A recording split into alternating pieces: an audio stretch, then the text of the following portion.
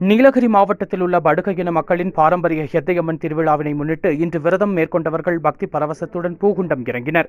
ஆடல் பாடல்களுடன் வழிபாடுகளும் நடத்தினர்.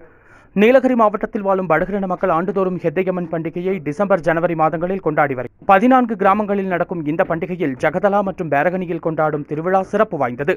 இங்கு மட்டுமே கன்னி ஹெத்தையம்மன் வழிபாடு நடத்தப்படுகிறது. இந்த ஆண்டிற்கான திருவிழா ஜெகதலா கிராமத்தில் உள்ள ஹெத்தையம்மன் கோவிலில் சிறப்பு வழிபாடுகளுடன் கோலாகலமாக துவங்கியது.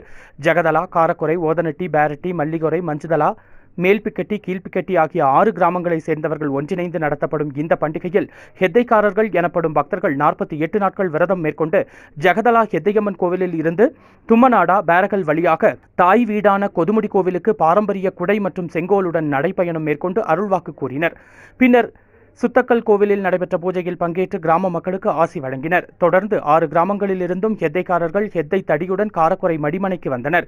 இன்று காரக்குடை மணிமனையில் நடந்த பூகுண்ட திருவிழாவில் ஆயிரம் கணக்கான பக்தர்கள் பங்கேற்றனர். பின்பு சிறப்பு வழிபாடுகள் நடத்தி கோவில் பூசாரி குண்டம் இறங்கிய பின்னர் கும்பம் எடுத்து வந்த பூசாரி உட்பட ஹெத்தைக்காரர்கள் பதினோரு பேரும் குண்டம் இறங்கினர்.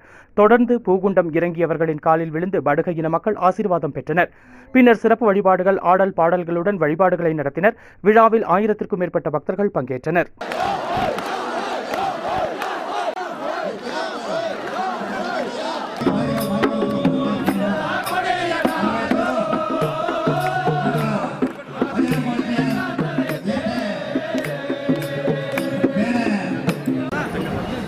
ಕುಂದು ಭೀಮನ್ ಕುಟುಂಬದವ್ರು ಸೋಲೂರು ಐನೂರು ರೂಪಾಯಿ ಮೋನಿಶಾ ರಾಜ್ಕುಮಾರ್ ಕುಟುಂಬದವ್ರು ಸೋಲೂರು ನೂರು ರೂಪಾಯಿ